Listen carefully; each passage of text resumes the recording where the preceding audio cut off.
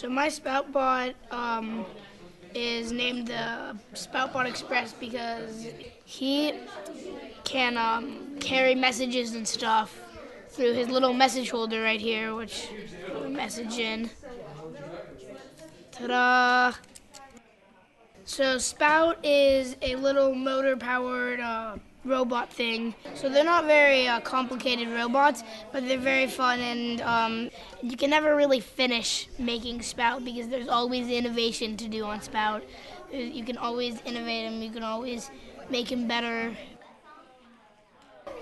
I innovated my spout by instead of putting a tail on the back, I put a tail on the front of the spout bot, and it can run a lot faster. I also um, put a letter holder on my spout bot that he can hold little notes and things.